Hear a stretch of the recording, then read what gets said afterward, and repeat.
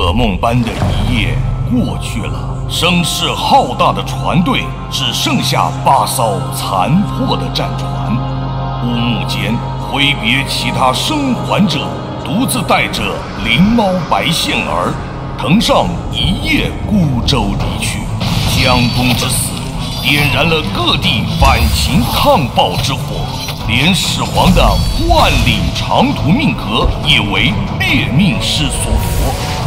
项羽、刘邦等群豪忙于投入争夺这个兵荒马乱的天下，魏晋的使命随即与东瀛血族一起被遗忘。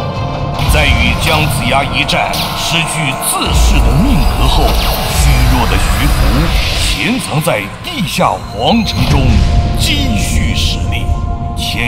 间，他以血天皇之名支配整个东瀛倭国，等着不会就此善罢甘休的猎命师再次前来。